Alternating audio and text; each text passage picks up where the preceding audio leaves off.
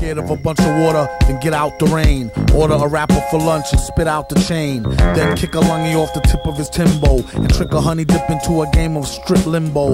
Odd, he couldn't find no remorse. A wink is as good as a nod to a blind horse. Of course, his technique was from a divine source. Never knew the price of ice or what swine cost. One guy tried to bite the heat.